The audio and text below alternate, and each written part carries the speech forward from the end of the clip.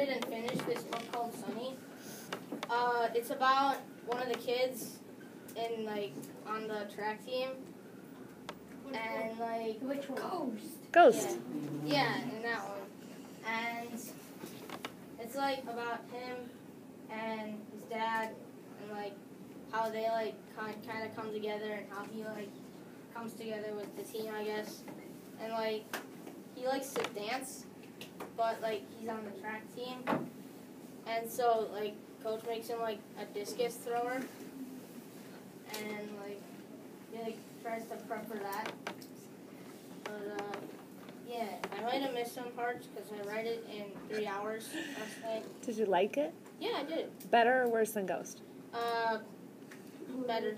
Awesome. Better.